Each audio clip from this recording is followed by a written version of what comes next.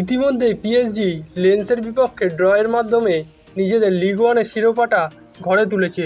সর্বশেষ ট্রয়েসের বিপক্ষে মাঠে নেমেছিল পিএসজি যেই ম্যাচে দুই দুই গোলে ড্র করেছিল মেসি নেইমাররা এবং আবারও পিএসজি মাঠে নামতে চলেছে।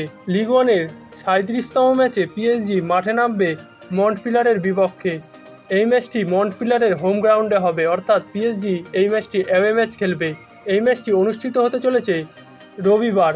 পনেরোই মে সাড়ে বারোটা এএমএ মন্টপিলারের হোম গ্রাউন্ডে একে অপরের মুখোমুখি হবে পিএসজি এবং মন্টপিলার লিগ ওয়ানের সাঁত্রিশতম ম্যাচে